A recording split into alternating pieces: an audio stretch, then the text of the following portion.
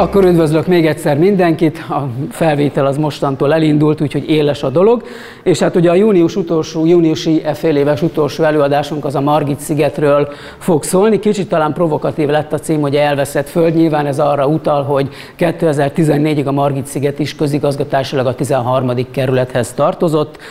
Most már ugye a főváros önálló közigazgatási egysége, ugye az elmúlt tíz évben. Az előadásnak végül is az is a célja, hogy bebizonyítsa, vagy megmutassa, hogy valójában a, a sziget az milyen szerepet, akár közigazgatásilag, akár funkcionálisan, milyen szerepet töltött be a fővárosban, és hát azért látni fogjuk, hogy azért ezt, hogy úgymond elcsatolták a 13. kerülettől, ennek azért vannak történeti okai is, mert hogy a sziget az nagyon sokáig nem a 13. kerülettel táplált történeti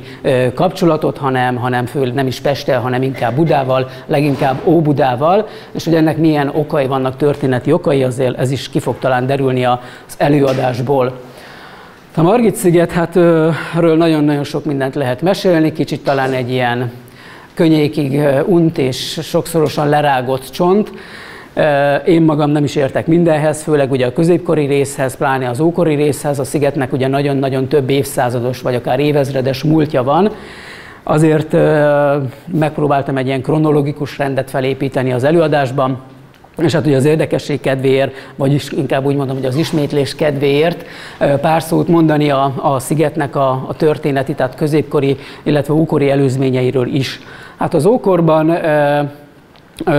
az ókori építmények nem maradtak fenn, ennek majd elmondom, hogy mi, volt a későbbiekben az oka, de egy őrtornyot vizionálnak, hogy valószínűleg ez biztos létezett, sőt, ugye a Margit szigetet már az ókorban, tehát a rómaiak idejében is fürdőhelynek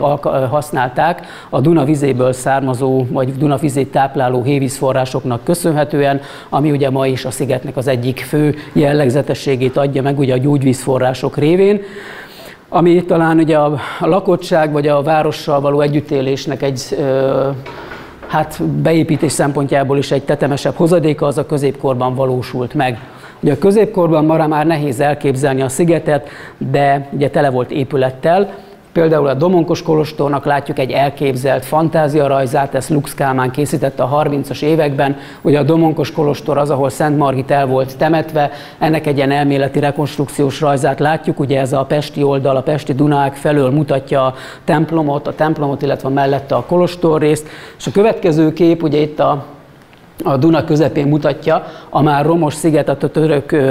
után, pusztítás után, a mi szempontunkból, hogy amit mondani szeretnék, abból a szempontból talán azért érdekes az a kép, mert láthatjuk, hogy szinte tele van épülettel. A szigeten volt egy vár, volt, azt hiszem, nem is tudom, ezt most puskázni fogok, egy, kettő, három, négy, öt, hat kolostor, öt kolostor, illetve volt egy ilyen kolostor és várszerű, tehát ilyen kettős funkciót ellátó építmény. A szigetnek a, az északi részén a az Esztergomi érsekség épített egy várat, a déli részén a Johannita rendnek volt egy ilyen védereje, úgy mondom, hogy egyházi funkciót és véderőt egyaránt ellátó ö, építménye, és aztán a sziget belsejében ugye voltak a domonkosok, a ferencesek, a minoriták, a premontreiek, illetve a ciszterciták, tehát ugye a szerzetes rendek mindegyiknek temploma, illetve kolostora. Tehát gyakorlatilag tényleg szinte tele volt ö, építve, Hagyományosan a sziget az mindig egyébként a budai oldallal épített ki kapcsolatot, nem véletlenül hisz ugye ez királyi terület volt, ezek a szerzetes rendek is zömében a király támogatását élvezve, vagy királyi adományként kerültek ide a szigetre. Ugye ezek közül a királyi adományok közül ugye érdemes kiemelni a domonkos rendet, a domonkos rend azért érdekes, mert hogy negyedik Béla ugye talán már ilyen közhelyé, ilyen szlogenné vált felajánlást követően ugye a, a lányát Margitot adta ennek az apácarendnek, Ugye ez az a bizonyos Domonkos Kolostor, ugye a tatárjárás időszakában járunk, amikor negyedik Béla felajánlja a Jóistennek, hogy ő cserébe a lányát felajánlja Isten szolgálatára, hogyha megsegíti ugye a Magyarországot a tatár elleni küzdelemben. Ugye a tatárok egyszer csak a csodával határos módon egyik napról a másikra szinte hátat fordítanak, kivonulnak az országból, és hát negyedik Béla pedig lojális a felajánlásához az akkor tíz éves Margit kislányát, őt felajánla, beadja a domonkos rendbe, sőt igazából azért alapítja meg, illetve azért pénzeli a domonkos rendet, hogy építsenek egy kolostort, hogy oda a lánya úgymond méltó körülmények közé kerüljön. Az érdekesség az, hogy ugye Margit ő mai Horvátországban ö, születik, ahová menekül a tatárjárás idején ö, negyedik Béla, és Mar- negyedik Bélának egyébként összesen nem is tudom, 9 vagy 10 gyereke is volt, és neki volt korábban már egy Margit nevezetű lánya, aki ott a tatárjárás időszakában Horvátországban meghalt. Ha valaki Splitben jár, ugye Splitben a nem csak a római emlékek az érdekesek, hanem van a Spliti nagy gótikus székesegyház, ugye a főbejárata felett van két kis kőkoporsó, abban két negyedik Bélának két lánya van állítólag eltemetve, az egyikben ez az a bizonyos első Margit, negyedik Bélának a, az első Margit nevezetű lánya, és hát ugye a, a, a sokadik gyerek, aki szintén másodjára is a Margit nevet kapta, ő volt az az idézőjelben szerencsés, aki ezt a hát végül is isteni ajándékként megkapta ezt, a, ezt az életet. Margit egyébként már gyerekkorától kezdve erre volt nevelve, hogy ő majd apáca lesz, tehát ő gyakorlatilag szinte örömmel, szinte evidenciaként kezelve vonult be ebbe a szerzetes rendbe. És hát azt talán kevésbé ismert ebből a történetből, hogy az 1200, hát nem tudom, a tatárjálás utáni a 20-30 évvel negyedik Béla meggondolta magát, és ilyen üzleti vagy inkább diplomáciai kapcsolatokat építve szerette volna a lányát férjhez adni, mit tudom én, melyik királyhoz Európában, vagy valamelyik európai királyi családhoz. Szóval szerette volna kivenni a lányát a domonkosoktól, Margit azonban nem ment, sőt a rend sem adta ki, tehát gyakorlatilag teljesen elzárkóztak a királyi szándék elől, és innentől kezdve a domonkosok nem kaptak több pénzt. Tehát végül is így ez volt a történet. Úgyhogy innentől kezdve a Ferences kolostor lett a következő olyan kolostor, amit a király elkezdett ugye jelentős pénzadományokkal ö, támogatni. Ugye a Ferences kolostornak szintén egy darab karomja ma is látható Palatinus stranddal majdnem szembe. Ö, erről majd később szintén fogok mesélni. Ami még érdekesség, de szerintem ezt is bizonyára mindannyian tudják, hogy a Margit-sziget az valójában valaha több részből állt, Sőt, egyébként vannak régészek, akik állítják, hogy a budai oldal, tehát a, még a középkor kezdetén, vagy az antikvitás időszakában, az ókorban, a budai ág az egy annyira keskeny ág volt, hogy szinte a szigettel és a part az egyben nőtt, tehát hogy szinte egybe volt a parttal. A középkor folyamán ugye itt két részt látunk a szigetből, elvileg volt egy harmadik része is itt az északi részen, a mai Árpád híd környékén, ez érdekes ez a harmadik sziget, mert hogy erről nagyon sok említés van. Azt is tudjuk, hogy ezeken is voltak ókori, romok, ókori antikvitásból származó romok, feltehetően egy fürdőnek a romjai, viszont egyetlen egy olyan darab, tér, egyetlen egy darab térkép sem létezik, ami ezt a szigetet rajzolva mutatná. Tehát, hogy így tudjuk, hogy van, de ábrázolás, vagyis hát térképes helyszínrajz nem szület, vagy nem maradt fenn róla. Ennek az is az oka, hogy a Margit szigetén most nem értek ilyen föltani dolgokhoz, nem is nagyon akarok okoskodni, de hogy valójában ez inkább egy zátonynak tekinthető, és nem annyira szigetnek. Ugye ez folyamatosan ugye így lerakódik, és változott a szigetnek a nagysága. Ez az északi kis fürdősziget, amit ide az Árpád híd helyére kell elképzelnünk, ezt nagyon gyakran elöntötte magas vízálláskor a víz, vagy el is mosta, hogy a partja is állandóan változtak, és egészen addig, amíg a szigetet ugye nem építették körbe rakparttal, így gyakorlatilag folyamatosan változott, tehát a Duna folyamatosan ostromolta, lerakta, építette, bontotta ennek a partvidékét. Ez a déli sziget, ami a, hát most ugye valahol itt van a Margit híd, ugye ezen a szakaszon körülbelül ez a Szent István körút, és ugye ide el kell elképzelni a Margit hidat. Ugye ez a bizonyos budai sziget, vagy festőszigetnek is nevezték, ez, ez végül is mai napig megvan, csak azért nem látjuk, mert hogy ezt viszont összeépítették a szigettel, tehát a nagy szigettel, sőt, hát ugye a Margit szigetet egy jelentős mértékben megnagyobbították a, a 20. század első éveiben. Ugye gyakorlatilag a mai Margit sziget az valahogy ekkora nagyságú, tehát ahol ma a Palatinus strand van, ahol a mm, teniszpálya, az úttörő táboroknak a helye, illetve a sport, tehát a hajós uszoda, illetve a a MAC-nak, az atlétikai centrumnak a sportpályái, ezek mind-mind feltöltött területek. Amikor a szigetet megnagyobbították, kiépítették a rakpartját, illetve a két szigetrészt összeépítették. Ez a festősziget, ez valószínűleg onnan kapta a nevét, hogy a, tehát nem a festőkről, nem a romantikus festékről, piktorokról, hanem, hanem valószínűleg a kékfestéssel, vagy az óbudai textilgyárnak, vagy a sejemgyárnak akkor már működő textilüzemeimmel, mint festő műhelyével lehetett valahogy kapcsolatba, de a név etimológiát az sajnos nem sikerült, nemhogy nekem másnak sem kibogozni. Ez a fénykép szintén a Kiscelli Múzeum fotótárából származik, egy nagyon érdekes kép, mert hogy itt látjuk fotón is a két szigetet, illetve el tudjuk képzelni, hogy milyen volt ennek a két szigetnek a kapcsolata. Hát nagyon idilli vagy romantikus ez a kép, ugye itt van a nagy sziget, látjuk, hogy egész nagy a partja, és hát ott ez a másik sziget, ez az a bizonyos kis festősziget, vagy budai sziget, ami, hát ugye látjuk, hogy egy nem túl keskeny, de azért egy ez egy elég komoly Duna ág választotta el egymástól. És hát ugye a szigetre nagyon sokáig az egyedüli közlekedési mód az szintén megörökítődik ezen a képen, csónakkal, Ugye ez is jellemzően a budai oldal között volt egy révész, aki rendszeresen szállította az embereket Budáról a Margit-szigetre. Ennek egyébként egész egyszerűen az az oka, hogy ha visszamegyünk erre a térképre, akkor ugye látjuk, hogy a Margit-szigetnek a budai oldalán van egy település, a Pesti oldalán, a mai 13. kerület területén pedig nincs. Tehát ugye ez a Pesti oldal, ez egy kietlen külvárosi iparnegyed, rendezetlen Dunaparttal, értelemszerűen, hogy nem erről a kietlen semmiből fogok átmenni a szigetre, hanem a sűrűn beépített Óbuda, illetve új lakvárosrész lesz az, ami gyakorlatilag hát, ilyen fizikai összeköttetést fog teremteni a szigettel, mert hogy egész egyszerűen ahhoz van közelebb, és hát tulajdonképpen ezért is van az, hogy a, a Margit sziget az egészen Gyakorlatilag egészen 1950-ig az folyamatosan Óbudához tartozott közigazgatásilag is, illetve Óbudával, Budával tartott fenn kapcsolatot. A török után hát elég hányattatott évtizedek következnek, kaszálórétnek használják, bonyolult birtokviszonyokkal, igazából senki nem tudja, hogy kié. A romokat a középkori, az apácák, ugye mindenki elmenekül a szigetről a török időszakban.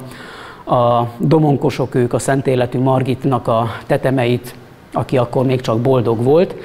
aki ugye a Domonkos Kolostorba volt eltemetve, felszették a maradványait, vitték az erekét magukkal Nagyszombatba, Pozsonyba, az utolsó Margit-szigeti apác egyébként ugye 1540-es években menekülnek el, 1637-ben halt meg Pozsonyban, és egészen addig ugye gyakorlatilag megvolt az élő kapcsolata a, a múltbéli, immár emlékekké minősült Margit-szigeti létezésről,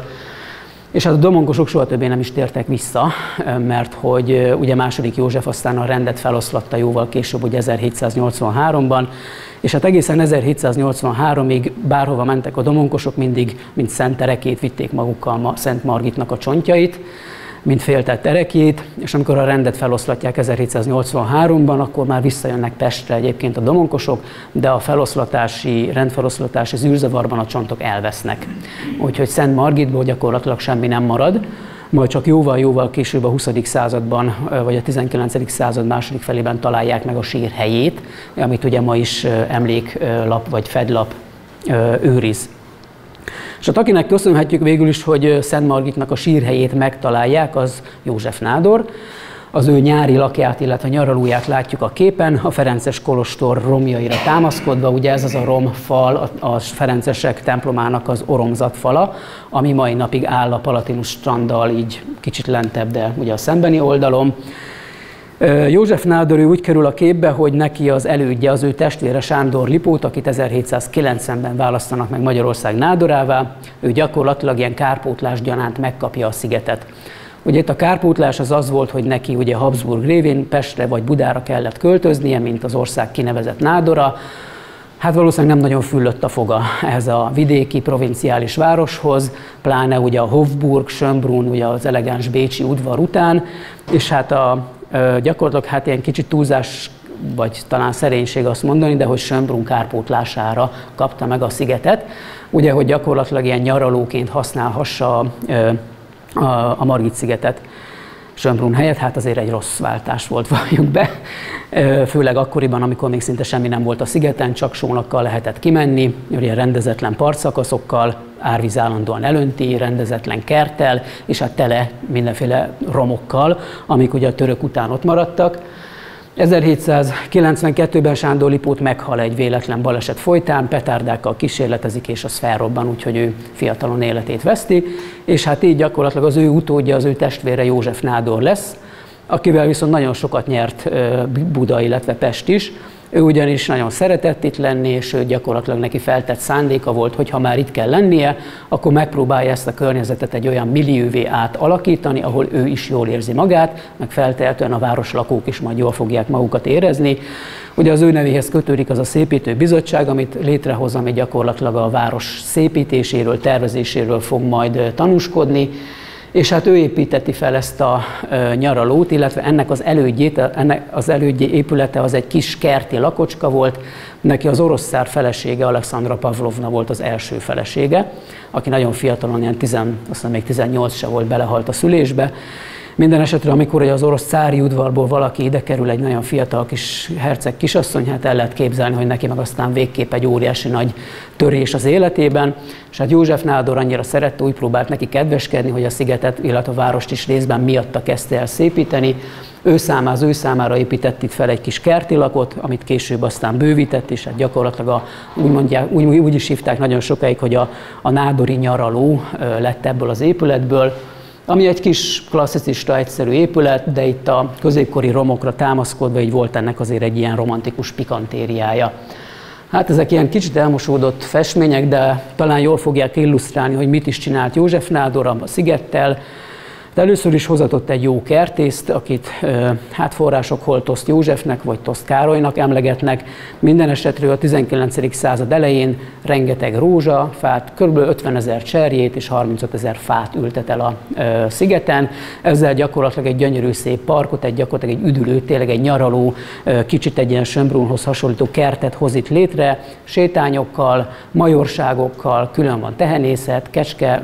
telep, ugye itt nagyon ugye az önellátás, nyilván ez még egy önellátó korszak, nagyon minden gyak feltétel adott, Ugye kell is, hogy ez a sziget önellátó legyen, hisz sem Pesttel, sem Budával nem tud közvetlen kapcsolatot tartani, csak hajón keresztül, ami azért elég macerás tud lenni. Ugye nagyon szép sétányokat hoz létre, ugye ott is látunk egy középkori romot. Ezeket a középkori romokat, amiket József Nádor megtalál, ezeket szépen ilyen romantikus tájképi elemként próbálják beilleszteni egyébként a parkba. És az egyik ilyen felújítás, itt például pont azt a jelenetet látjuk, amikor a budai királyi palotából, József Nádornak a úgymond udvartart, udvarából, vagy hát palotájából, ugye át eveznek a Margit-szigetre Alexandra Pavlovnával. Ö, hát ugye el lehet képzelni ezzel a kis csónakon, hogy így átlibegni a Dunán, azért nem lehetett egy egyszerű élmény, főleg vihar vagy ilyen nagyobb ö, sodrás ö, korszakában. Itt pedig Óbudával látjuk ugye az Óbudai templomot, a Szent Péter és Pál templomot, illetve a hajógyári szigetet a távolban. A kertépítészetnek lett, a, tehát a Margit sziget kertészeti rendezésének lett aztán az is az eredménye, hogy ö, Hát egyrészt 1838-ban mind mindaz, amit addig megcsináltak a kertből, azt a nagy árvíz elvitte. A Margit-szigeten két és fél méteres vízmagasság állt a, tehát a normál járószint velett, Állítólag valami több, mint majdnem fél méter vastag iszapréteget hagyott maga után a levonuló víz, és ez a nádori nyaraló, amit az előbb mutattam, ez állítólag még 20 évvel később is nedves volt a fala. Hát végig a kő el lehet képzelni, hogyha nagyon megszívta magát vízzel, akkor talán igaz is ez a mendemonda. A lényeg, hogy amikor az árvíz jött és elmosott minden, gyakorlatilag lemosta a földet azokról a középkori romokról, amiknek ugye nagyon sok része a föld alatt volt csak látható, és az ilyen árvíz utáni takarítás közben fedezte fel az egyik kertész, hogy van egy üreg a Domonkos, a ma már ismert Domonkos kolostor területén, belenyúlkált, talált egy koronát, egy aranygyűrűt, aranyhímzéses ruhadarabokat, sőt ilyen faragott márvány, vörös márvány töredékeket is. Azonnal ugye vitték József Nádorhoz, Jankovics Miklós volt ugye a kor nagy történész tudós a Nemzeti Múzeumból, ugye ő volt az, aki megszakértette, és hát ugye Szent Margit legendájából próbálták visszakövetkeztetni, hogy ki mi lehetett, kihez tartozhattak ezek a szemmel láthatóan is nagyon elegáns ékszerek, és hát rögtön beazonosították, hogy nem csak ugye Szent Margit volt az egyetlen királyi sarja, akit a szigeten temettek el, hanem 1272-ben 5. Istvánt is ide temették el. Ugye 5. István, ő 4. Bélának volt a, azt hiszem 9. fia, vagy gyermeke, a 9. gyermeke, a nem tudom, hanyadik fia, azt hiszem az első fia. És hát ugye nagyon könnyedén, tehát ugye a Ráskai le a Szent Margit legenda fordítás alapján, beazonosították, hogy ez 5. István király koronája lehet. Ugye itt József Nádor rögtön magához vette ezeket a kincseket, nehogy elkallódjanak, a Nemzeti Múzeumnak felajánlotta, de gyorsan elterjedt a plegyka, hogy ez nem is 5. István, lehet, hogy ez maga Szent Margitnak a koronája, mert hogy nagyon kicsi a korona átmérője, és elindult a korban egy ilyen nagy polémia, hogy ez most Margité, Istváné, vagy jöttek sorba az Árpádházi leszármazottak, újabb kutatások indultak, több mint száz sírt találtak egyébként a Domonkos Kolostornak a területén. A lényeg a lényeg, hogy a koronán kívül minden elkallódott, még a Nemzeti Múzeumból is, úgyhogy ma igazából egyedül csak a koronát ismerjük, erről majd később fogok is képet mutatni, de végülis a történetben az érdekesség az, hogy egy ilyen banális történet, mint az árvíz, nyilván a 838-as nagy árvíz nem volt annyira banális, de hogy egy alapvető természeti jelenség, hogy ez milyen kultúrkincset tudott a felszínre hozni. Szinte József Nádornak a, a munkássága révén azt lehet mondani, hogy a sziget az elindult a önálló útján, gyakorlatilag a közparká válásnak az útján. Ennek az első jelentős momentuma az volt, hogy 1860-as években hát nagyon sok változás történt a szigeten. Egyrészt az egy, egy legnagyobb ilyen változás volt, hogy elindult a szigeten a tömegközlekedés, ugye 1869-ben megjelent a lóvasút, ami a szigetnek a két végét kötötte össze. Ugye itt József Nádornak a kegyességén mutatja az, hogy ő nem tartotta meg magának a szigetet, a nyarakat ugyan ott töltötte, és feltétlenül nyáron nem volt ildomos a szigetet más embernek látogatni,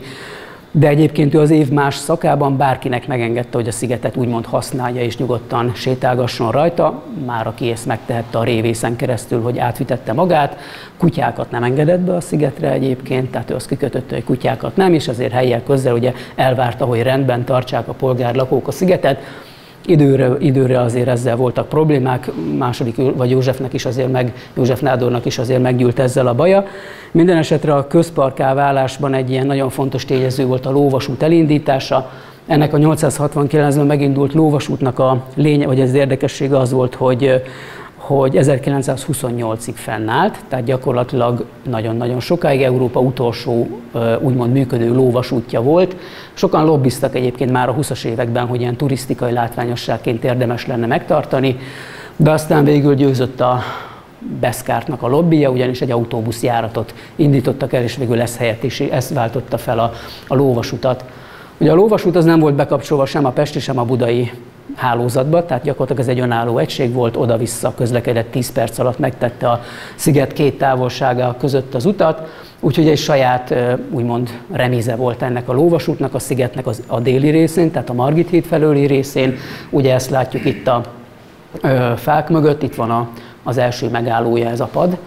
innen indult. Um, Ugye itt voltak a lovak, illetve hát ugye két ló, illetve nem is, csak egy vágány volt, és ugye oda-vissza járt a, a ló, és hát ugye ez volt a kocsiszín, illetve a, itt látjuk, hogy a, a remíz, illetve itt a hölgy épp várakozik a érkező lóvasútra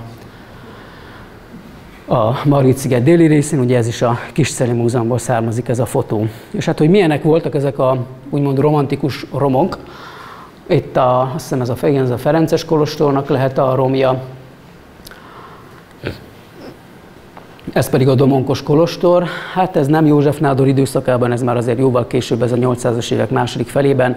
de hogy ezeket a romokat egyébként ez 1920-as évekig egyébként szakszerű régészeti feltárással nem tárták fel, nem rekonstruáltak sokáig, nagyon sok, sokáig, gyakorlatilag 2010-es évekig nem történt itt ilyen rekonstrukció, úgyhogy ezek tényleg szabadon, ilyen szabad kőhalmazként hát hirdették a múltat a szigeten.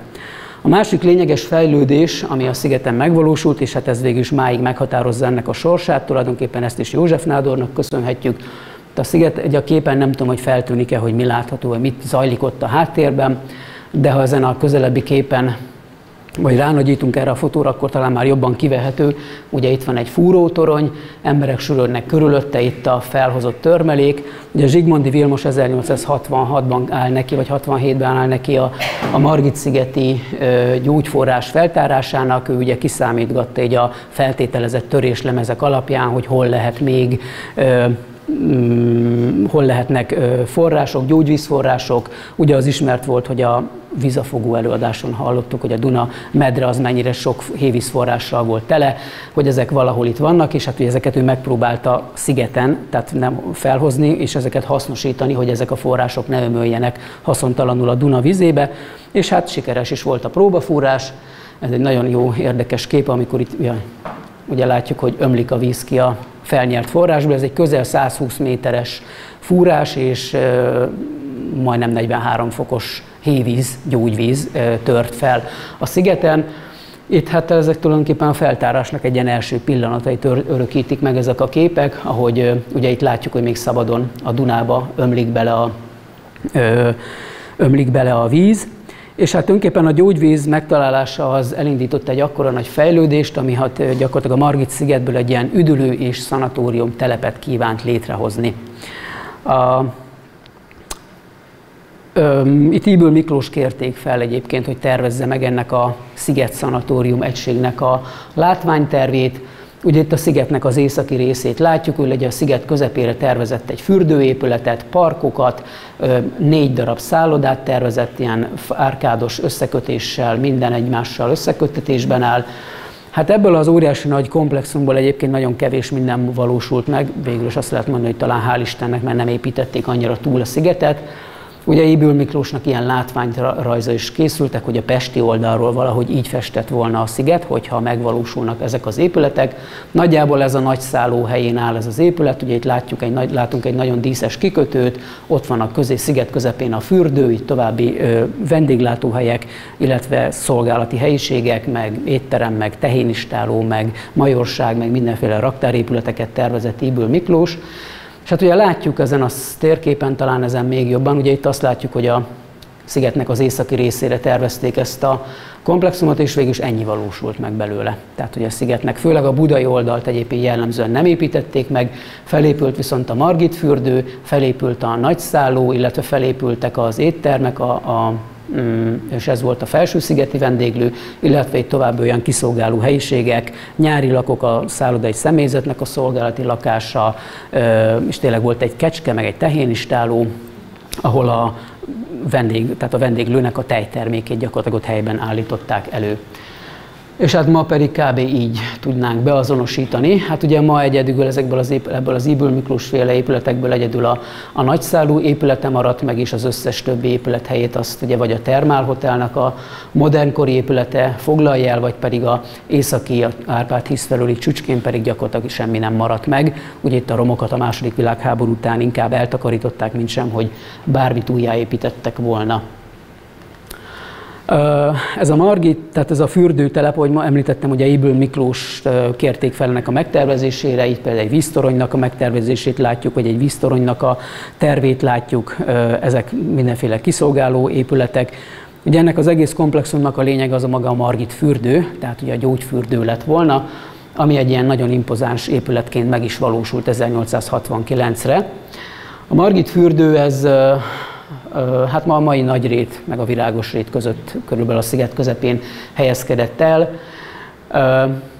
Érdekes, hogy ez nem egy olyan fürdő volt, mint amit a mai ismereteinkkel fel elképzelnénk, tehát ez nem egy ilyen nyitott vízmedencés, gyakorlatilag ilyen strand jellegű fürdőzés biztosított, hanem ez kádfürdőket tartalmazott. Ez egy kereszt alaprajzú, egy, mint úgy nézett ki, mint egy ilyen, ugye itt az alaprajzon is talán láttuk, hogy igen, ezen tehát hogy egy ilyen hármas keresztszárnyú épület volt, ugye középen volt a bejárati rész, ez a kupolacsarnok, és innen lehetett jobbra-balra, illetve hátra menni, attól függően, hogy kádfürdőt akart venni az ember, vagy olyan fürdő helyiségeket, amelyek porcelánból, kőből voltak kifaradva, nyilván itt ugye itt az árbeli, meg a minőségi különbség jelentette a, a változást, és hát gyakorlatilag 52 kádfürdő helyiség volt kialakítva ebben a fürdőben, tehát mindenki úgymond privát fürödhetett, és tehát nem egy ilyen közös fürdőmedencés megoldást alakított ki. Margit fürdő a második világháborúban nagyon sok bombatalálatot kapott, nagyon sokáig, több mint tíz évig szabadon állt, ugye ez sem segített a romos épületen, aztán ugye 1956-ban jött egy újabb árvíz, ami elöntötte, és aztán 1958-ban úgy döntöttek, hogy inkább lebontják, mint hogy a teljesen szinte már romhalmazzá vált épületet felújítják, és hát ezzel a sziget egy nagyon, nagyon szép ékességét veszítette el. És hát ugyan van most is ugye fürdőépület vagy fürdőszálló a, a, a szigeten, ugye a Termál Hotelnek az épülete, de azért az egy építészeti minőségben egy teljesen más, más, más stílust hoz. Ugye a Margit fürdő, vagy azt a fürdőtelepet, amikor létrehozták, itt ugye még jobban odafigyeltek a kertészeti rendezésre, gyönyörű virágszőnyegeket alakítottak ki, ezeket gyakorlatilag egyenként befotózták. Magyar György volt egyébként ekkor a főkertésze a, a, a Margit szigetnek, és hát ezek a virágszőnyegek vezettek magához a fürdőhöz. Azért elég szépen odafigyeltek rá, és hát hogy itt a Margit fürdőnek az oldalát látjuk. Szintén ennek a bizonyos Magyar Györgynek volt a, az elképzelése az, hogy a kátfürdőkben, tehát a Margit fürdőben elhasznált gyógyvizet, azt ne csak egyszerű csöveken vezessék át vissza a Dunába, hanem akkor ennek egy impozáns vízesést alakítsanak ki. És hát ugye ez a vízesés, ez mai napig hál' Istennek megvan, egy nagyon szép kertészeti megoldás, ami az érdekessége a vízesésnek, ez a következő fotón talán jobban fog látszódni, hogy annak idején ez még közvetlenül a Dunába folyt ki. Ugye itt, ez a kis, ugye itt a budai hegyeket látjuk, illetve ez a budai oldal egy, állam, egy a, igazából ez nem híd, hanem a hajó kikötőhöz egy stégként vezet ki. És hát ugye látjuk, hogy közvetlen a parton áll, most erről nem hoztam fotót, de bizonyára mindenki járt már a japán kertben, ahol a vízesés van. Ugye most, ha oda képzeljük magunkat, akkor van ugye a vízesés, van a japán kert, akkor ott mennek a, az autóbuszok, ott van a kiépített műút, plusz még van egy futókör, meg a rakpart, tehát ott azért még van egy jó pár méter a, a Dunáig. Ugye ez mind feltöltött, utólag úgymond a szigethez csatolt mesterséges feltöltés. Annak idején közvetlenül a szigetnek a vége az itt volt, ahol a mai japán kert, illetve a vízesést kialakították. És hát ugye ezen a képen is látjuk, hogy a Margit fürdő, ott van a képnek a bal sarkában a, a vízesés, és hát közvetlenül a Dunaparton áll szinte minden.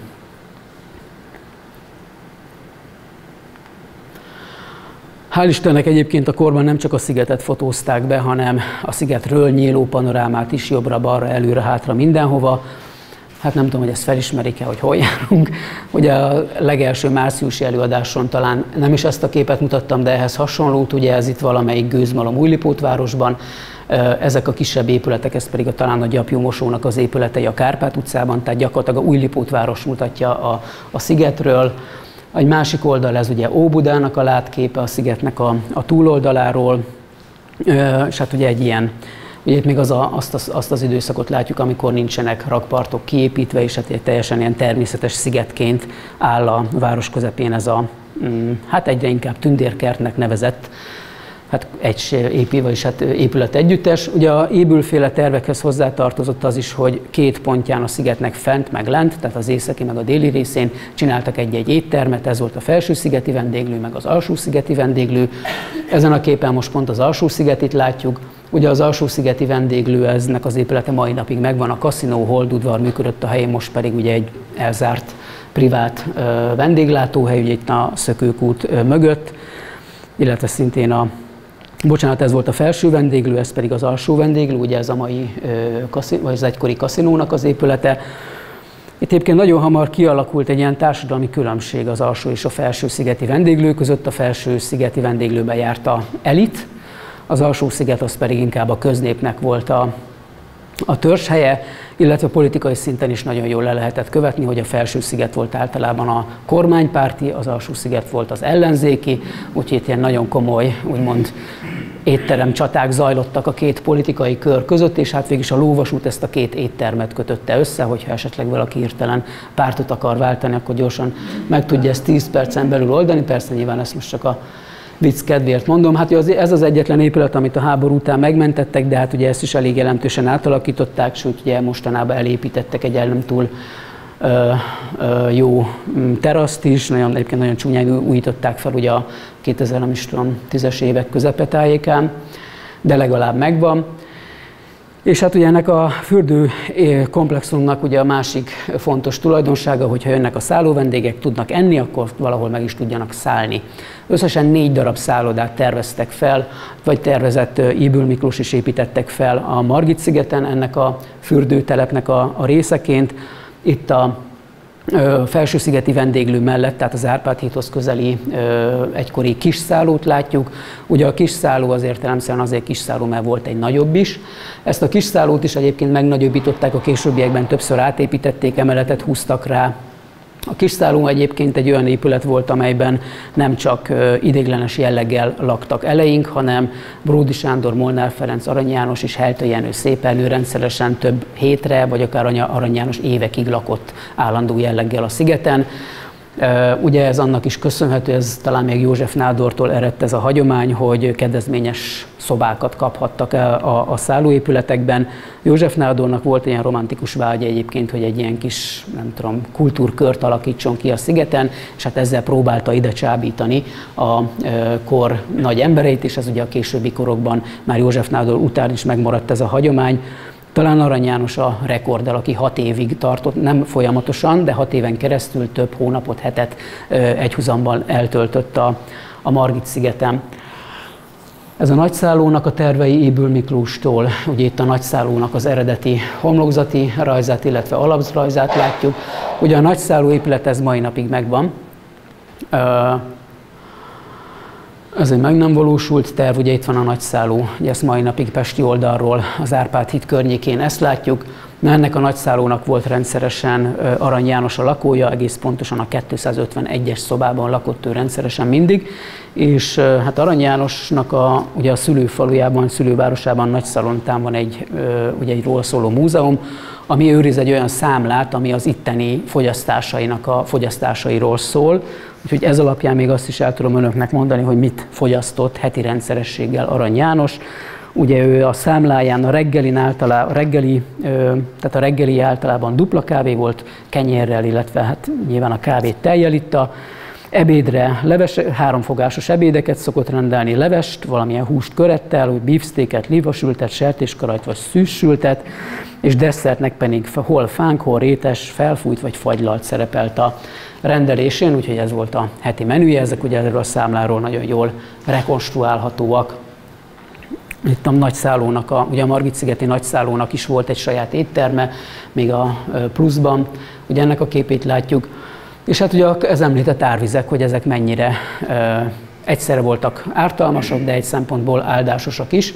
Ahogy említettem a régészeti feltárás kapcsán, itt majd elég borzasztó képeket fogok mutogatni a Margit szige vagy a Margit fürdőről, Hát ugye itt a Margit fürdő vendégeit úgymond venekíteni kell, stégeken, idéglenesen épített stégeken. Hát ugye a Margit szigetet el tudjuk képzelni, hogy azért most is elég árvízveszélyes helyen van, de akkor az idő, amikor még nem volt kiépítve a rakpart, akkor ugye még veszélyesebb volt ebből a szempontból, és hát ugye ez egy érdekes kép, Velence Budapesten, tehát gyakorlatilag így a Margit fürdő az előről, hátulról, minden oldalról úszik a vízben. Itt tényleg nem látni, hogy hol van a part. Ez egyébként ugye a 838-as árvíz mellett még további, azt hiszem három vagy négy olyan árvíz volt, ami igen a 876-ban, meg 897-ben, ez azt hiszem, hogy ez az utóbbi kapcsán készült ez a kép, amikor teljesen ugye a sziget az, az víz alá került. A bizonyos Margit-szigeti koronáról az előbb már említettem, vagy említést tettem, ez a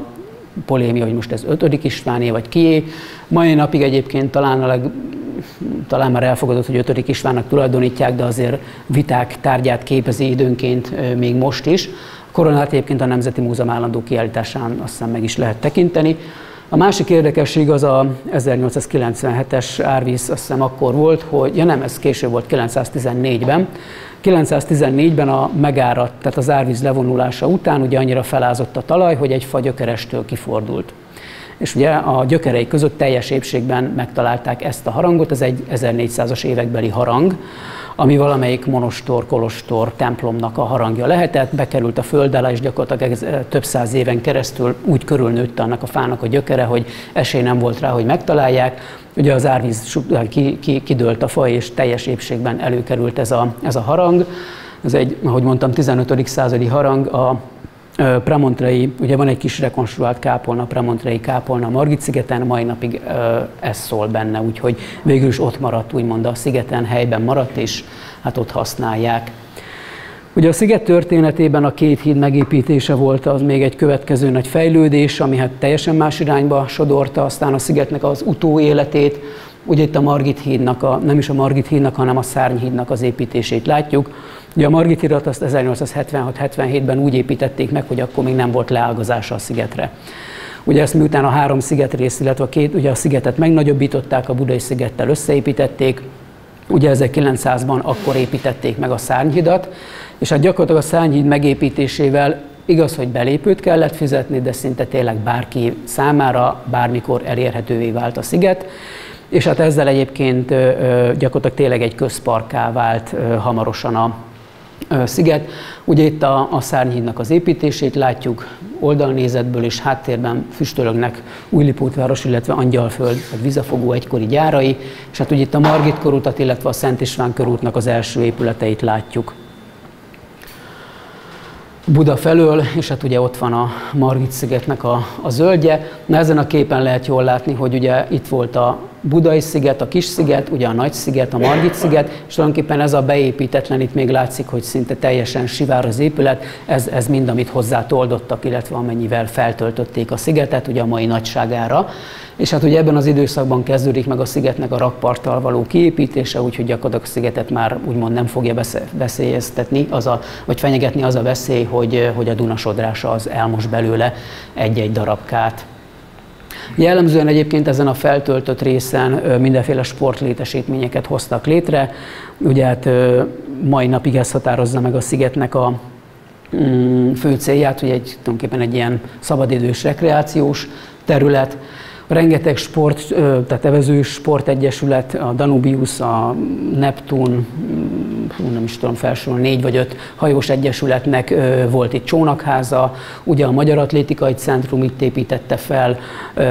az épületét, ez egy kávéház, bocsánat, de a Macnak is egy hasonló favázas épülete volt. Ez. Ugye ez a Magyar Atlétikai Centrumnak az épülete. És egész egyszerűen a Margit-sziget az annyira gyakorlatilag kikerült a főváros irányítása alól, hogy a 20. században a főváros úgy döntött, hogy eh, létrehoz egy, illetve létrejött egy részvénytársaság, és ennek a részvénytársaságnak a kezelésébe adta az egész szigetet. Ugye ez a Szent Margit sziget gyógyfürdői részvénytársaság névre hallgatott, és hát tulajdonképpen ennek a részvénytársaságnak volt az a célja, hogy a sportlétesítményeket karbantartsa, a szállodákat meg a fürdőt üzemeltesse, Hát nagyon sok vita van a, ez a részvénytársaság, hát ugye jó anyagi haszonszerzés reményében. Kaszinókat szeretett volna itt létrehozni, meg egy ilyen vigalmi negyeddé szerette volna átváltoztatni az egész szigetet, hogy nagyon sok probléma volt vele eleinte de aztán végül is hát úgymond megnyugodtak a kedélyek, és hát végül is a sport, illetve a, a rekreáció szinterévé vált a sziget. Úgy itt ez a Magyar Atlétikai Centrumnak az épületét később modernizálták a 20-as években, és hát ugye a 30-as években gyakorlatilag egy ilyen virágkor köszönt be a sziget, sokadik virágkor köszönt be a sziget történetében, elegáns éttermekkel, ez a fedett sétány, ez szintén a 20. század elején épül, ez gyakorlatilag a sziget, tehát a Margit szigetnek, tehát a Margit hídnak, tehát a szigetnek a déli részétől vezetett be a sziget, hát nem a közepéig, de nagyjából a mai szökőkútig egy fedett sétány, ahol esőben is lehetett korzózni. Ugye ez egy nagyon szép favázas épület volt, itt mondjuk egy téli jelenetet látunk. És hát ugye a szigetnek úgymond az épületeit gazdagította 1907-ben megépült kis kápolna. Ez a kápolna, ez a Domonkos Kolostornak a egykori templom szentélyére épült rá, Korp Flóris tervei alapján, és ezt már József főherceg építette a két elhuny kislánya emlékére, de gyakorlatilag ugye itt látjuk a Margit szigetet, a Domonkos Kolostornak a romjait, és ugye a szentélyében helyezkedett el ez a kápolna. 907-re lett kész, és tehát 45-ben ez is megsérült, bár ahogy látjuk, ez egy háborús fénykép, itt nem annyira túlságosan nagyok a sérülései, de aztán mégis ideológiai okokból az Rákosi korszakban lebontották, és hát ugye ma ez van a helyén. Tehát gyakorlatilag ugye a, a szentének a rekonstruált formája. És hát a 20. század elejé beruházásoknak a csúcspontja az a víztorony. Ugye a víztorony az azért is volt fontos, mert hogy a sziget egyre nagyobb lett, egyre több funkció van rajta, tehát egész egyszerűen kellett a úgymond korszerű vízellátás, és hát ugye a kor legmodernebb megoldásaival ezt úgy gondolták, hogy egy, ez a víztorony ez képes lesz kielégíteni a szigetnek a, a vízellátását. Ugye az 1911-ben adták át Zielinski Szilárd és Raj Rezső tervei alapján, az ország harmadik vasbetonvázas épülete volt. Ugye az Ielinszki Szilárd ő Párizsban tanult, és ugye a vasbeton, amikor vas húzalokat teszünk a nyers betonba, és hát ezzel mindenféle tartó meg húzó erő keletkezik, és egy nagyon szilárd betonréteget lehet ezzel kialakítani. Ez ebben az időszakban kísérletezik ki, illetve ebben az időszakban debutál szerte a világban, így Magyarországon is. És hát ugye nagyon sok bizalmatlanság övezte egyébként a Margit-szigeti víztoronynak a történetét. Zielinszki Szilárdról felmaradt egy ilyen anekdota, hogy ő úgy bizonyította be ennek a vasbeton szerkezeteknek a szilárdságát, hogy építetett egy vasbeton gyakorlatilag mint egy asztalt, ő az asztal alá, ennek az idézőjeles asztal alá, ő maga alá állt, és a magasból egy nem tudom hány hektoliteres víztartályt írá ejtetett toronyból erre a vasbeton szerkezet, és hát ezzel próbálta bebizonyítani, hogy nem fog betörni, nem fog összeszakadni, összeroskadni a vasbeton építmény. Ő maga aláállt, és hát ugyan a, nem szakadt be, a vizes tartály ez természetesen kilocsant, ő maga csuron vizesen boldogan ugrott ki alóla, hogy ezzel bizonyítást nyert, hogy a vasbeton az mennyire szilárd tartóságú, tehát tartóerővel rendelkezik, és hát tulajdonképpen ennek a Mendemondának köszönhetően kapott engedélyt a víztorony megépítésére. Víztorony egyébként nagyon kevés ideig tudta ellátni a funkcióját, mert hogy egész egyszerűen annyira megnőtt a szigetnek a területe, egyre több sportlétesítmény volt, szálloda volt, hogy tényleg nem tudta tartani a lépést úgymond a fejlődéssel, úgyhogy a 20-as években vezetékes, tehát vízvezeték hálózatot kellett kiépíteni, és onnantól kezdve szinte el is vesztette a funkcióját, ugye mai napig is kiállításoknak vagy időnként koncerteknek ad helyet. Egyébként már a 20-as években arra hasznosították, hogy az erkélyeiről mindenféle zenekarok szolgáltattak zenét a szigeten járókelőknek, a féle élő attrakcióként, és hát az sem véletlen, hogy a 20-as években köré telepítették ugye a szabadtéri színpadot. Hát ugye itt látjuk a víztornyot, illetve a zenepavilont, illetve hát azt a zene helyet, amit ugye a maga sziget az, az bevonzott. A víztoronynak köszönhetően egyébként megszülettek az első panorámaképek magasból a szigetről, úgyhogy ugye itt ezek a képek is mutatják a Margit fürdőt, mellett a nagyszállónak az épületét, és hát valahol ott a fák lombjai között van a volt a felső szigeti vendéglő, illetve a 20-as években kialakult vagy kiépített nyári színpadot. Szintén ennek a 20-as éveknek, vagy a, inkább már a 30-as éveknek volt a ö, fejlődése, hogy, vagy a fejlesztése, a sziklakert létrehozása, ugye itt a zenélők úttal. A zenélők útnak ugye a története az nem tudom mennyire ismert, talán ez is egy kicsit köz, közismert sztori, ugye ezt Marosvásárhelyről hozták úgymond át. Marosvásárhely ugye Székelyföldön egy székely ezermester készítette, Bodor Péternek hívták. Bodor Péter, ő egyébként a Bécsi építészeti főiskolán szerezte meg a műszaki tudását, és hát ugye ez, ez volt az egyik legsőt, a leghíresebb műve. Tulajdonképpen ez a Bodor Péter azért nem alkothatott maradandót a későbbiekben, mert hogy börtönbe került, ez talán nem annyira közismert az ő sztoria. Hát állítólagosan ő egy véletleneknek az áldozata lett, állítólag egy nagyon buta fogadás kötött valakivel ott Marosvásárhelyen, hogy mi a könnyebb bankóprés létrehozni, vagy hidat építeni. És ugye ez a műszaki megszállottságú Bodor Péter, ő a fogadásban állította, hogy egy bankóprést ő sokkal könnyebben létre tud hozni, mint egy hidat, és hát ugye nem elkészítette a bankóprést, és hát ugye ezzel valahogy szerintem ilyen simliskedés volt az egész történet. Az a lényeg, hogy a fogadás bizonyítékául elkészült bankóprésen ő tényleg elkezdett pénzt hamisítani, és hát, hogy most ezt ő tudatosan csinálta, vagy állítólagosan zsarolták, hogy neki nyomtassanak bankóp, és most ezt nyilván így 200 év távlatából nem, fogjuk, nem fogunk tudni igazságot tenni, a lényeg, hogy ő börtönbe kerül, de annyira jó ezermester volt, illetve jó mester volt, hogy a börtönben is őt kérték fel ennek a kútnak, a közkútnak, díszkútnak az elkészítésére, úgyhogy a zenélők útnak a pikantériája az az, hogy a tervei azok egy fogdában készültek el, és ez alapján ugye Marosvásárhely főterére elkészült a díszkút. Ugye a díszkútnak az érdekessége az, hogy ugye itt a Ez a hengerszerű felépítmény, az alsó része az egy víztartály. Ugye innen három irányba csorgott ki a víz. A tetején ez a kupolás építmény viszont egy víz, a víz súlyát felhasználva gyakorlatilag egy önműködő orgonaként működött, és mindenféle óránként, vagy eleinte hat óránként mindenféle zenés dallamokat játszott be, gyakorlatilag mint egy vízi orgona. Ugye azért 6 óránként működött csak, a, tehát reggel 6-kor, délben 6-kor, meg éjfélkor tudott csak zenélni, ugye mert hogy a 6 óra kellett ahhoz, hogy a víztartály az kellő mennyiségű vízt magába szerezzen, és ugye a súlyok révén hogy a orgonasípokat működésbe tudja hozni. Sem az eredeti orgonaszerkezet, sem az eredeti dallam nem ismert, tehát nem tudjuk, hogy eredetileg milyen dallam volt, illetve a szerkezet is elévült. És hát aztán a kutat, van egy ilyen másik mendemonda a kuttal kapcsolatban, hogy Bodor Pétert halára ítélték, és az utolsó kívánsága az volt, hogy az élete főművéhez, a kúthoz még egyszer elmehessen, el is ment, és valamit kicsempészett a szerkezetből, hogy soha többé ne tudjon megszólalni a vízorgona, és tényes való, hogy, hogy, hogy leállt, tehát kb. 10.1822-ben állították fel a kutat, és pár évet, tehát 32 körül, 31 körül, ugye az, a, a, a vízi orgon, tehát az orgona sípjai azok nem működtek tovább, Később egyébként enyhítették, úgyhogy azt hiszem még x évnyi börtönt kapott, azt le is töltötte, de mire kiszabadult alkoholista lett, úgyhogy egy, nem egy pozitív történet, mondjuk ez Székelyföldön talán nem volt annyira meglepő. Minden esetre a kút az nem zenélt már tíz évvel az átadása után, később belecsapott egy villám, az is károkat okozott benne, és aztán a, valamikor a század közepén le is bontották.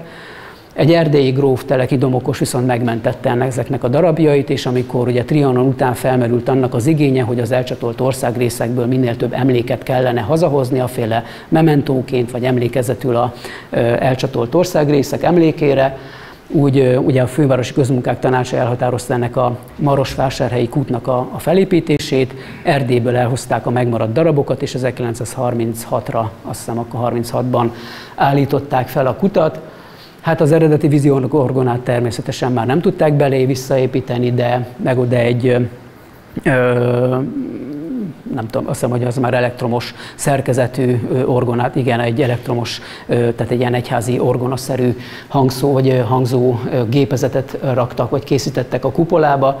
Ugye a tetején van egy szobor, ami a napjárásának megfelelően a Neptun szobor, ez folyamatosan körbeforog, az elvileg mai napig is így működik. Sziget egyébként a, ennek a zenelejátszásnak mindig egy nagyon hányattatott volt a története, ugyanis ez az elektromos ö, szerkezet is nagyon hamar elromlott, aztán a szocializmus időszakában magnóval próbálták ö, megoldani, de nem volt hozzá vezető vezeték, az elmű az nem vezette ki a hálózatot, aztán próbáltak ö, lemezjátszó, azt nem is tudom elképzelni, hogy lemezjátszót raktak bele, és hangszórókon próbálták a zenét kihangosítani, de a hangszórókat ellopták, úgyhogy ez a 70-es években volt. És hát ugye 2010-es évek óta, 14-10-es években újították fel, most nem tudom milyen szerkezettel, de most elvileg stabilan működik. Mondjuk én már rég hallottam zenélni, de pár évvel ezelőtt még működött, reméljük, hogy még most is tud zenélni.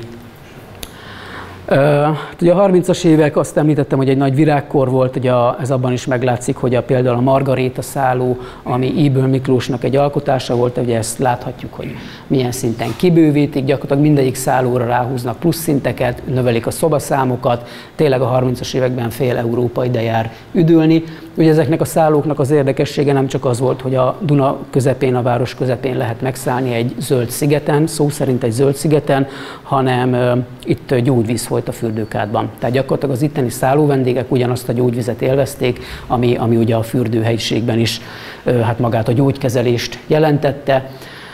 Ugye ezt a képet inkább csak az érdekesség kedvéért raktam fel, itt a rózsadomb látszik a háttérben, vagyis hát inkább ugye az új laki városrész,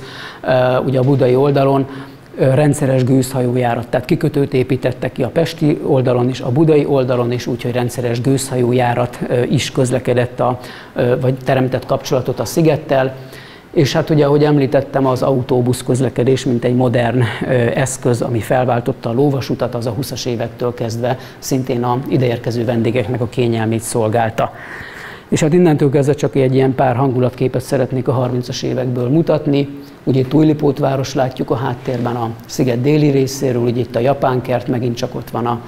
a zenélőkúttal, és hát ugye itt pedig a Marosvásárhelyi zenélőkút, ugye ez Marosvásárhely főtere,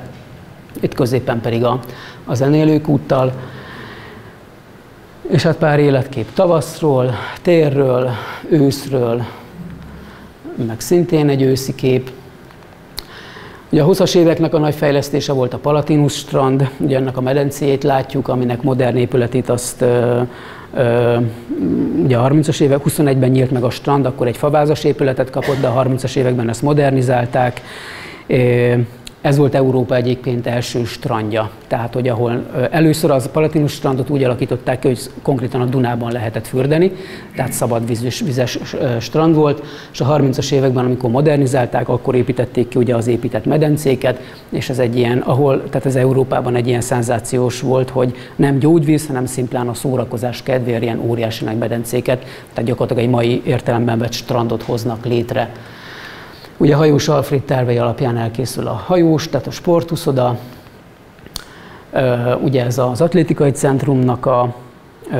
hát klubházaként működött a Magyar Atlétikai Centrumnak a, az év klubháza, illetve kávéház étterem is működött az aljában, pólópályát, galamblövőpályát, teniszpályát, tehát rengeteg ö, ö, sport létesítményt hoznak létre, és hát ugye még egy életkép a magáról a strandról. A 30-as években egyébként újabb kutakat fúrtak fel, vagy tártak fel, tehát hévízforrásokat. Ugye ezekre különböző ivókutakat hoztak létre a Margit fürdő környékén, aztán ez a Margit névre hallgató kút, ami Hát a szigetnek manapság egy nagy hiányossága, hogy hiába van ott a gyógyvíz, de gyakorlatilag nem nagyon tudunk hozzáférni. Ugye a 30-as években ez sokkal könnyebb volt, mert hogy a, gyakorlatilag működtek olyan kvázi közkutak, ahol a közvetlenül a földből feltörő hévízhez, gyógyvízhez lehetett hozzájutni.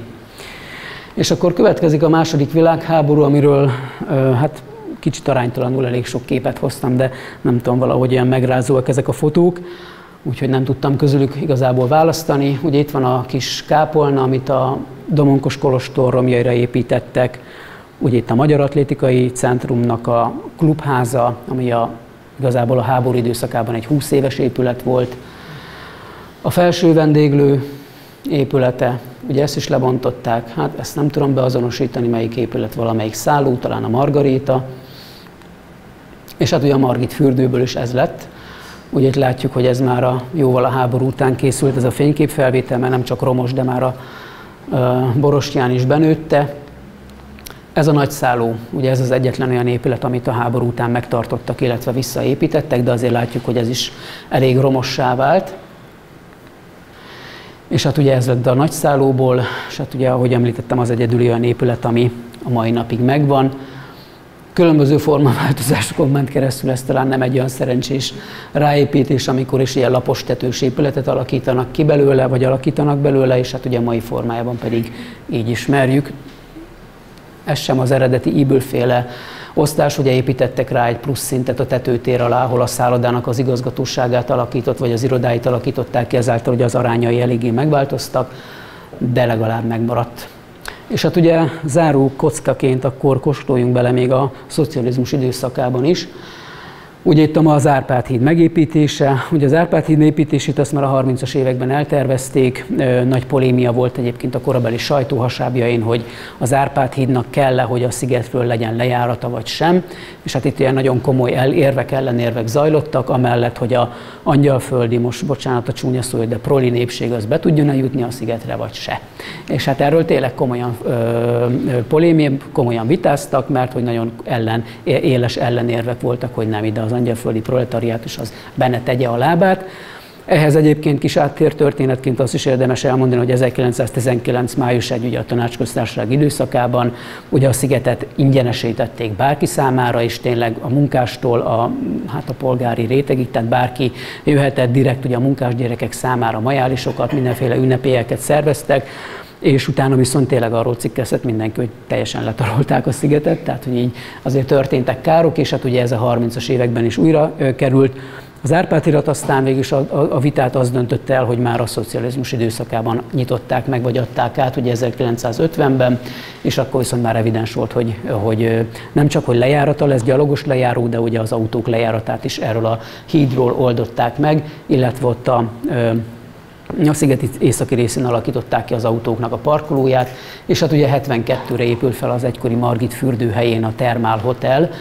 ami hát ugye mai napig a gyógyszállót jelenti, ugye a szállón vagy a Tel Hotelnek a belső árkádját látjuk, ami egyébként egy jó épület, nyilván aznak a tudatában, hogy mi volt előtte, így azért furcsa ez a váltás, de azért Hát végig a funkciója megvan, úgyhogy termálhotelként ugye hasznosítja a sziget gyógyvizét, vagy a gyógy kultúráját, ami ahogy láttuk azért az egy több száz éves hagyomány a szigetem. És hát akkor én ennyit szerettem volna a Margit szigetről mondani. Köszönöm szépen akkor, hogy itt voltak, és hát ne felejtsenek el minket, mert szeptemberben folytatjuk.